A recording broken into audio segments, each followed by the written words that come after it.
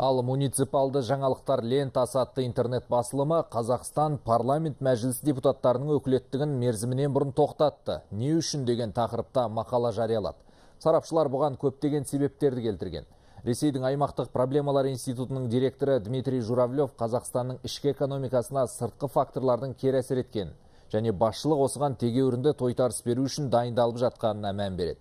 Сондай ақ ол президент пен министрлер кабинетінің міндеттері артқан тұста парламентке жаңа құрам қажет екенін айтады. Парламентті таратып кезектен тыс сайлау өткізуді уақыт талап етті деп түсіну керек.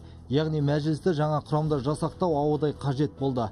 Назарбаев нағыз стратег. Оның жоспарлары ұзақ мерзімді және өте серпінді.